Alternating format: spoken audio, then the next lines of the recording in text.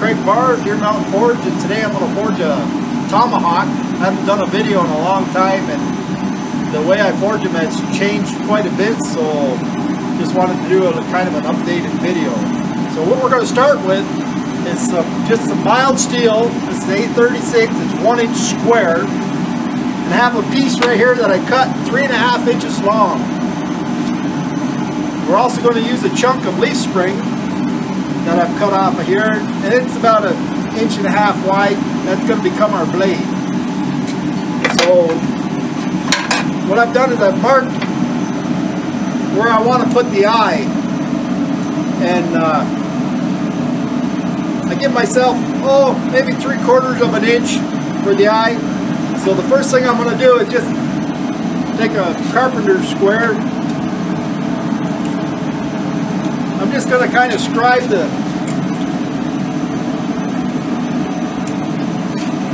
get some idea where the center is.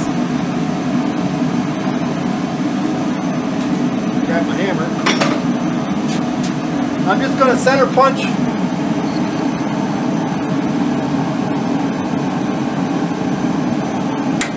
each end of the eye like I say, about three quarters of an inch in length. What we'll do is we'll hot punch that. You can see the center punches. Okay, now what we're going to do is I'm going to take the piece that I've prepped and we're going to stick it in the forge. Let that warm up. And while that's warming up, I'm to put a bevel on this piece of leaf spring.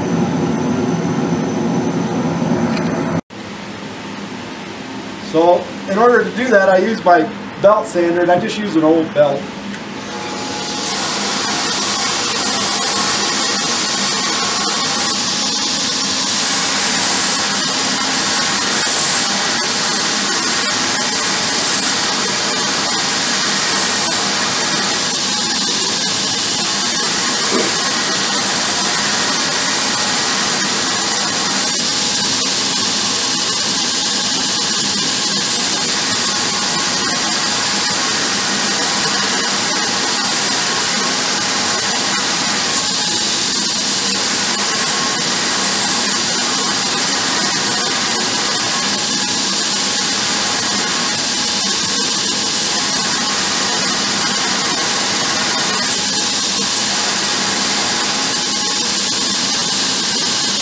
you see the bevel that's put on that.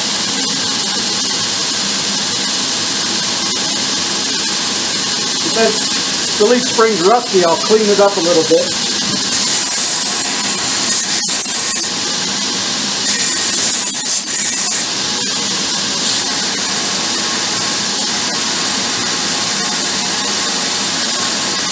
Just in the areas where I'm going to make my weld.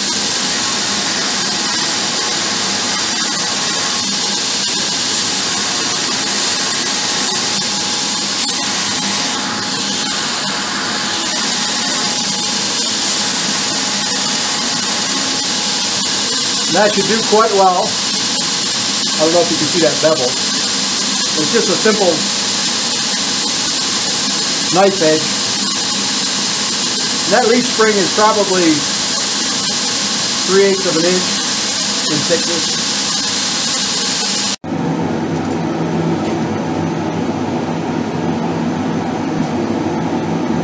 Got our piece marked.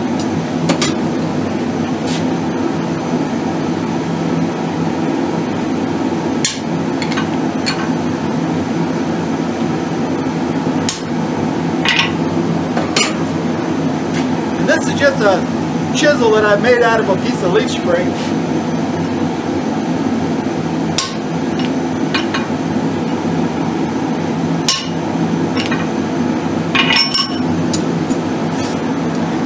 Now we'll heat her up some more and we'll, we'll drive that right through there. there.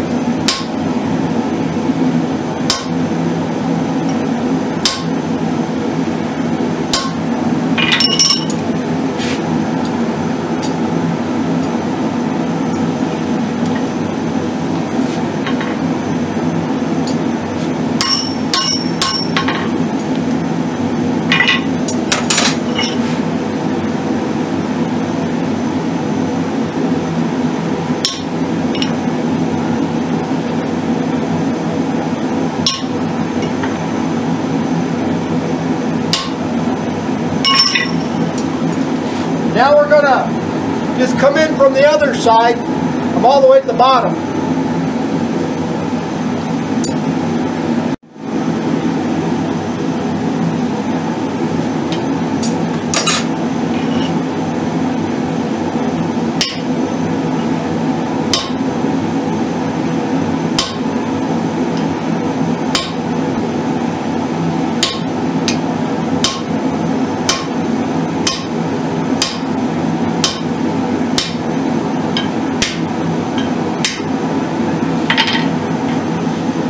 We're all the way through.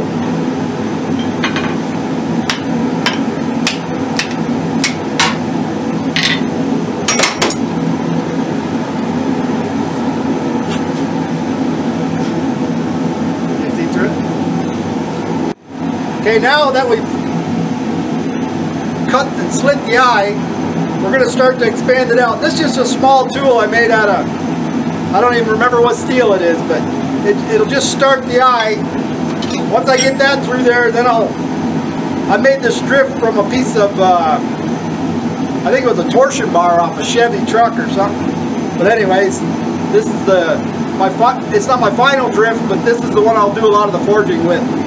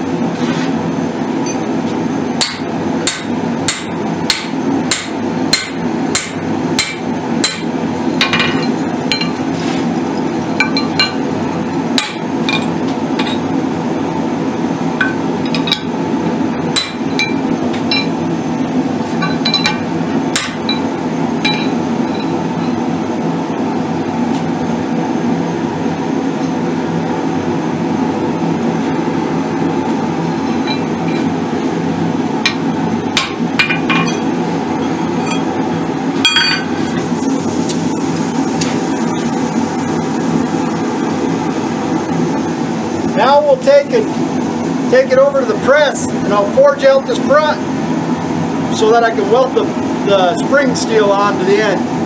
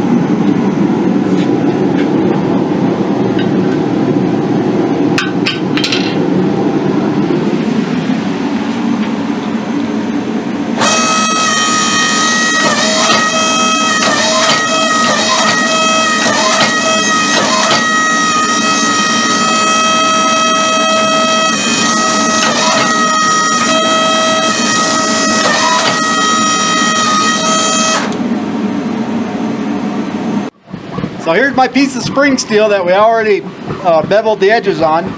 We're going to do the same thing right here. And we're going to weld that, that piece of spring steel right on the front, just like that.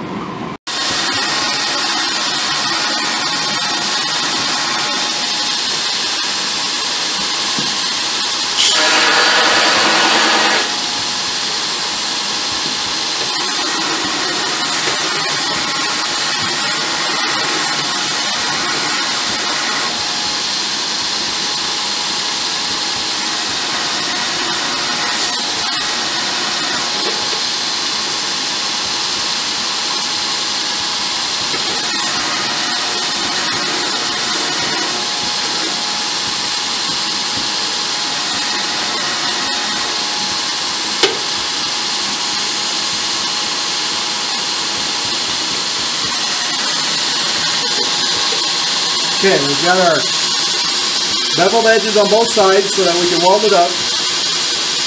And we'll go do that now. Okay, I've got my eye section of the hawk clamped up in my vise here. And what I'm going to do is arc weld that on right there.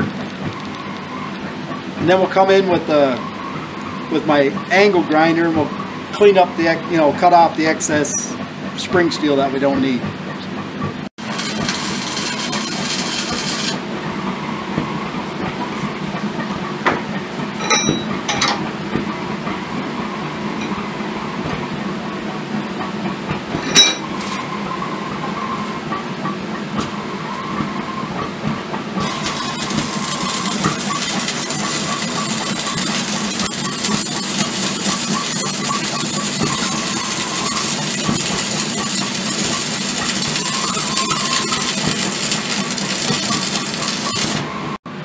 Okay, I've got one side welded up and I'll, I'll continue to make a few more passes and, and fill it right in.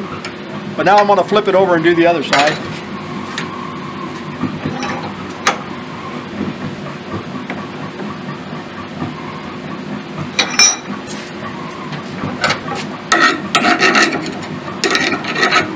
I'll do the same thing on this side.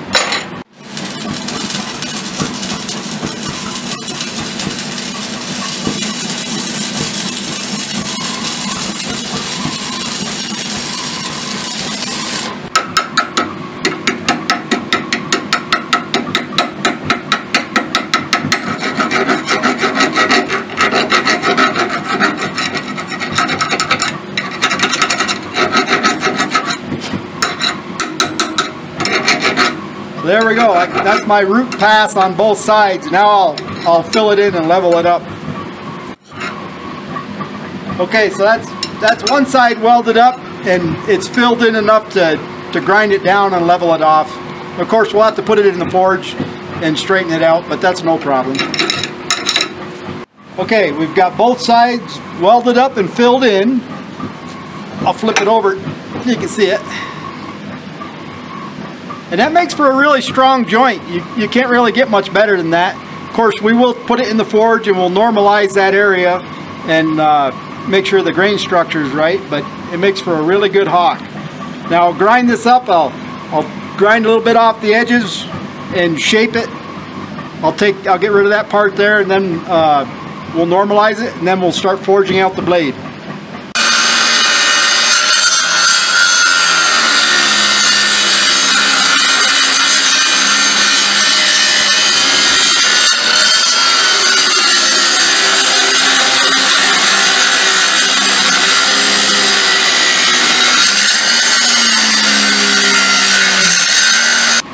Okay, I've got the edges profiled the way I want them. Now I'm going to come back and, and grind the weld down flush with, with the surfaces on both sides. Okay, so we've got the blade ground out and the welds are ground down. And uh, there's no pinholes, no pits. The weld's good and solid. And we got a good start to start forging out that blade. We've got mild steel here and spring steel here. I've used this method for O1, uh, W1, 5160. It seems to work for just about any usable steel, so don't be afraid to do it. So I'll put it in the forge now, and we'll normalize the head just before I start forging, just to give it the best chance it can to survive any cracking or anything like that. Okay, so now we're normalizing our welded area non-magnetic, so we're just going to let it cool.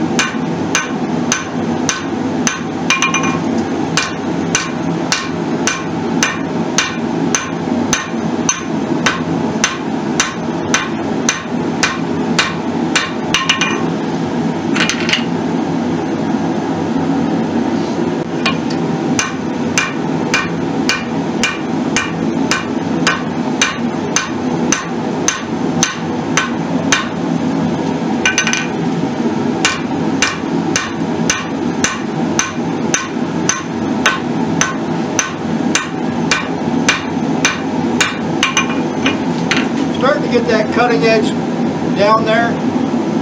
You want a nice taper.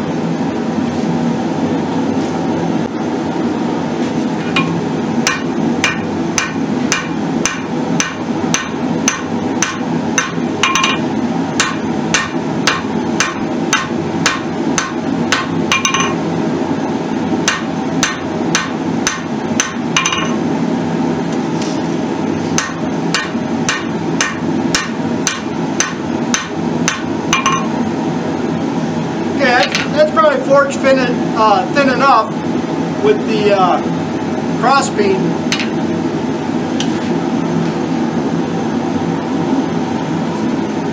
I'm going to go after it with the face of the hammer. Right.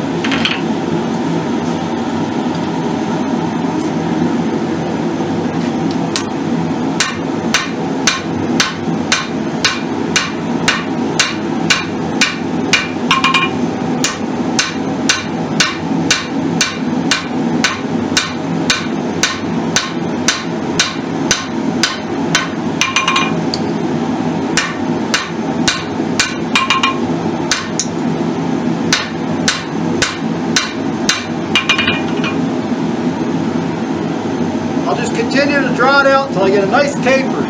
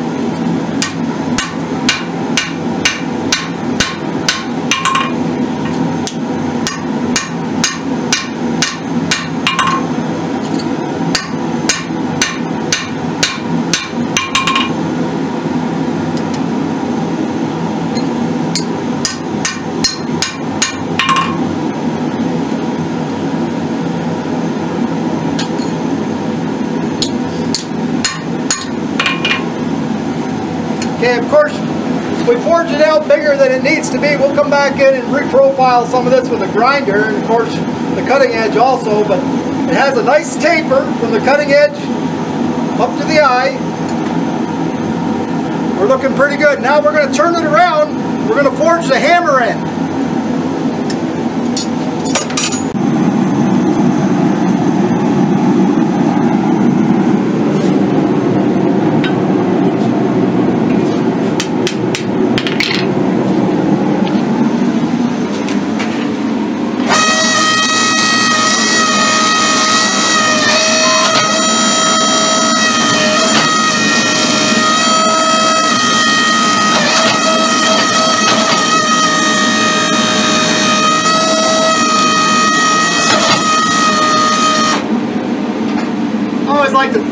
A little bit. Now I'll go back and I'll get the grinder and I'll put a bit of a cut in here to separate the hammer out from the eye.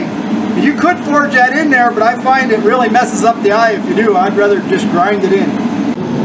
Okay,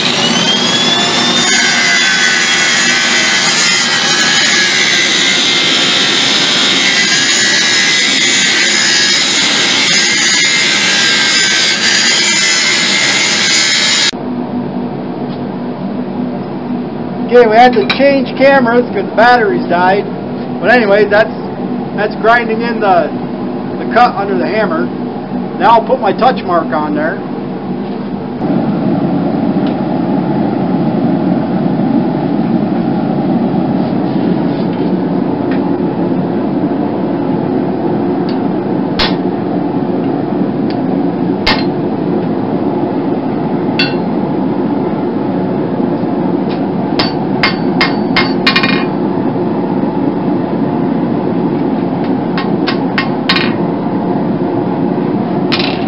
we got my CB mark in there. Okay, now I got my final drift. I've got a mark on it on how high I want the hawk to come up on the eye here. But uh, that'll be our last step will be to get that eye the size we want and also line up the blade and the hammer if we have to do any uh, adjustments there.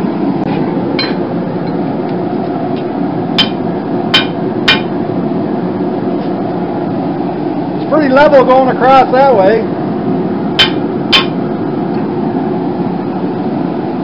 It's fairly straight with the center of the center of my drift. The hammer looks pretty straight. It's not too bad just the way it is. Sometimes you get lucky on them. Then other times there's a lot of adjustments.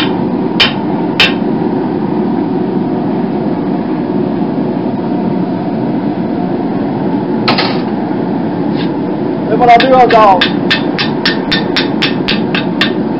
make sure the eyes fit real good around the, the drift. Make sure there's no gaps. That's about as high as I want it on there. It's looking pretty good. Now, got it looking the way we want to, we need to normalize this head. The first thing I'll do is I'll normalize pretty much the whole head. Then I'll come back and I'll trim up the blade a little bit and then just normalize, normalize the, the spring steel end. So stick her in there bring her up to temperature. Brought the whole head up to non-magnetic. We're just going to let it cool. That'll normalize the whole thing. Then I'll come back and I'll normalize just the cutting edge. Now I'm taking my angle grinder and just decreasing the width of the blade, uh, profiling it a little bit because it doesn't need to be as wide as it is. I've just taken the angle grinder and cleaned up the profile of our blade a little bit. Uh, it's still fairly wide. Uh, still a, at least a four and a half inch wide blade. I'll definitely, when I get onto the belt grinder, I'll definitely take some of the the center of this out. But for right now, for normalizing, it's fine. So now we'll stick it in the forge and we'll normalize back the spring steel area.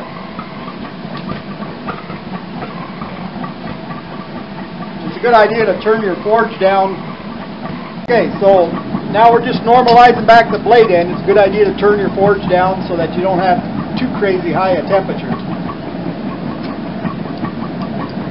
All non-magnetic, even in the welded area. Let that cool. I'll do this process on the blade end three times. I won't show it three times on the video, but just for your own personal reference, three times is a pretty good number for uh, normalizing. Then we'll go ahead and grind this up and then heat treat it. Normalization number two on the blade end.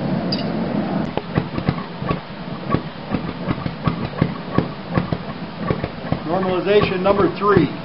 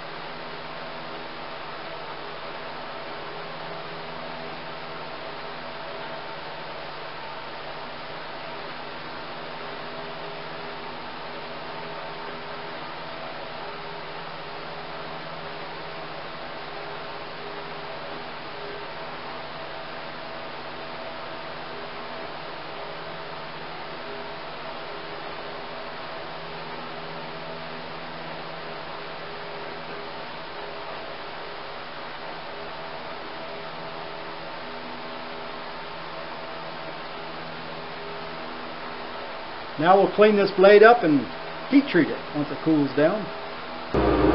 Okay, we've got our uh, head we just forged. And we're going to clean up the profile, grind the surface of the blade down to the thickness we want it. Keep an old handle on hand just to look at it, line things up. Looks pretty good.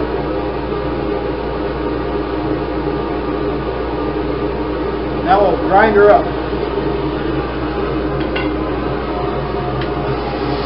We start with the top edge.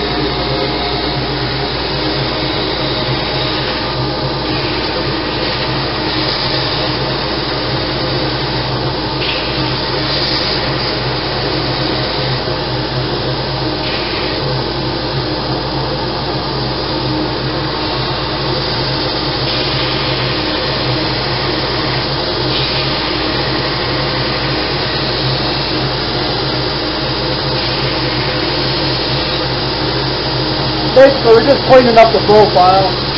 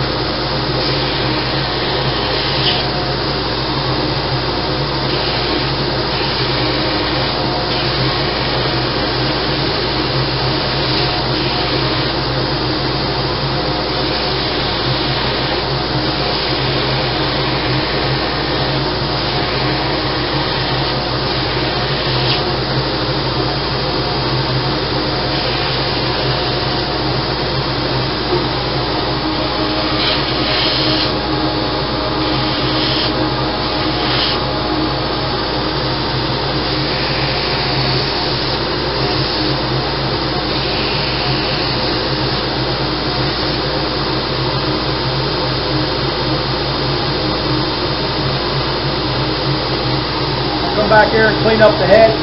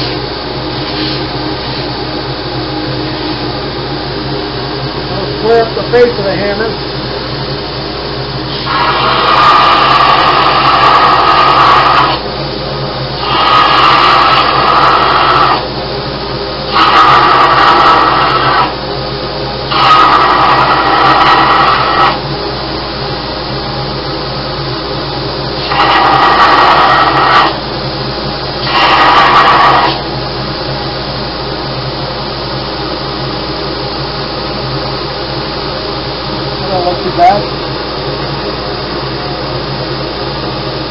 Round off the edges.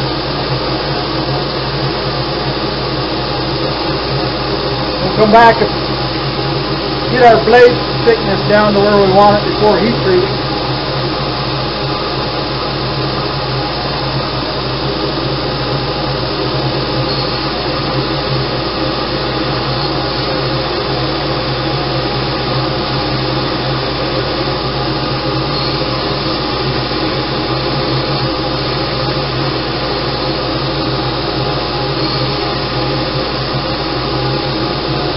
Got some of the scale out there. I'll change the belt.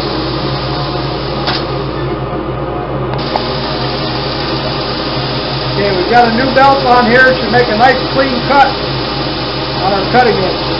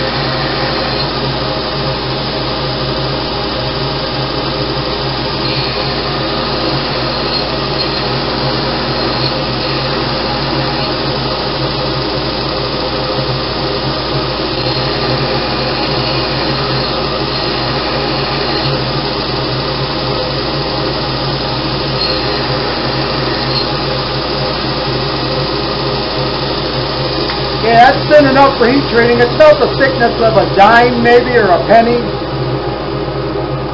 Looking pretty good. Let me grab the handle. This is just an old handle.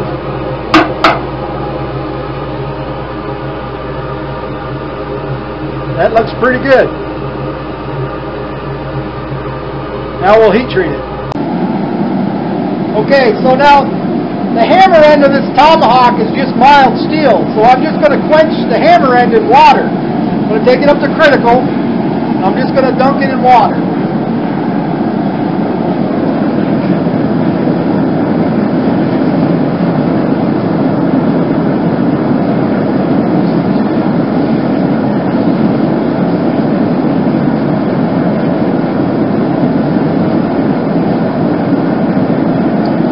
That's about as hard as mild steel's gonna get.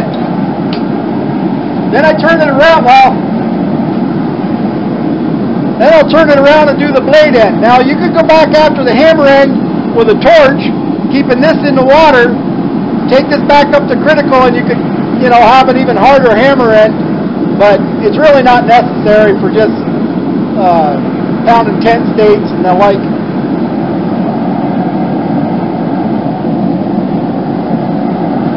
I like to just put a little bit of oil on there because it kind of seasons it like a frying pan and it, you get a little bit of black uh, on the bare metal spots and it looks pretty good. So now we'll turn it around and do the, the blade end. We'll turn our forge down a little bit.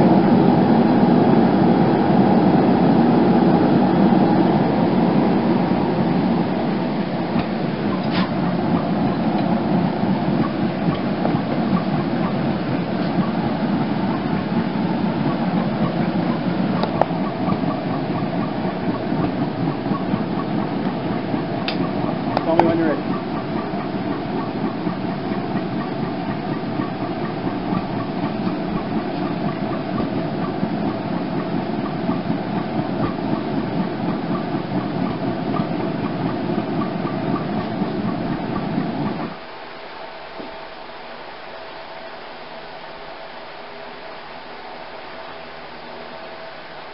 There you have it, a hardened cutting edge on, on the tomahawk. Now we'll clean it up and we'll temper it back. Then we'll go chop something with it.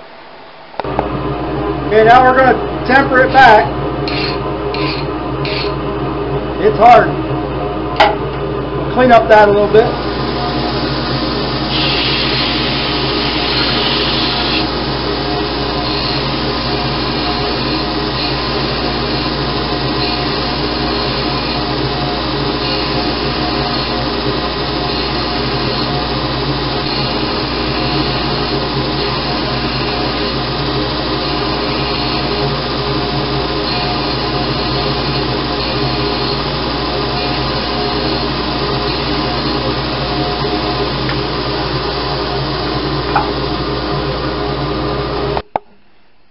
Okay, we're going to temper it back. I like to use just a, a butane torch.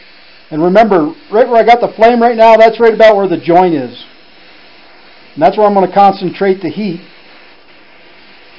And I'm going to let it climb up towards the cutting edge until it turns that like a, you know, light brown or straw color.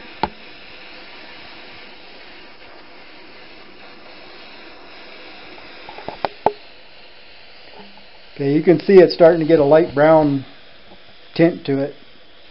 So that means the joint area is probably starting to turn a little blue.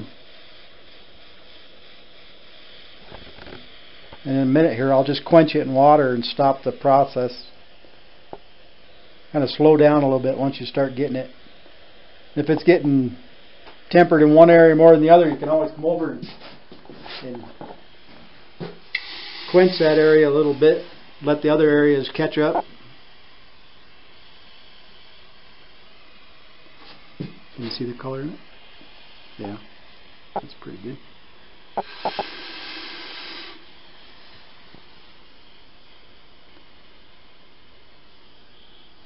That looks pretty good all the way around. Okay,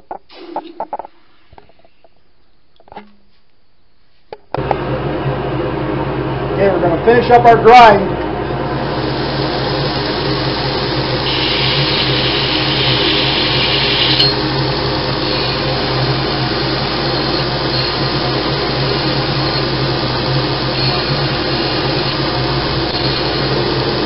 You can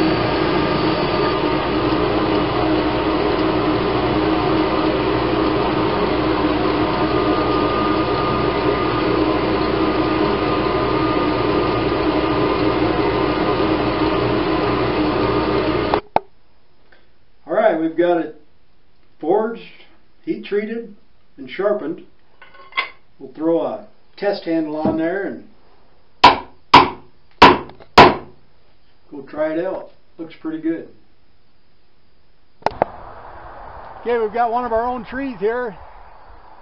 And this branch right here is, is dead. It needs to come off so we can practice on that one.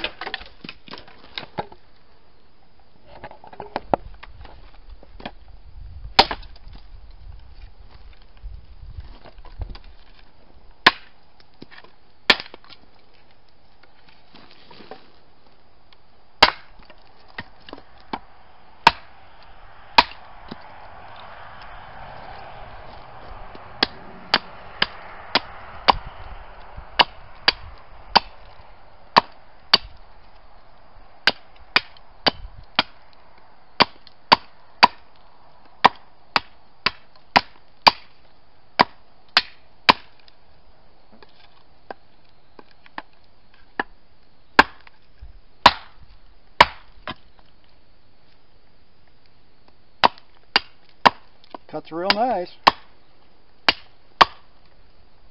That's pinyon. Didn't hurt the cutting edge, so we got the heat treat pretty good. Still good and sharp. Still bites into my fingernail.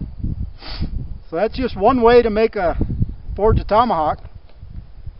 Uh, there's a lot of other ways, and I've done it lots of other ways, but currently this is the method I use, and it seems to work pretty good. Thanks.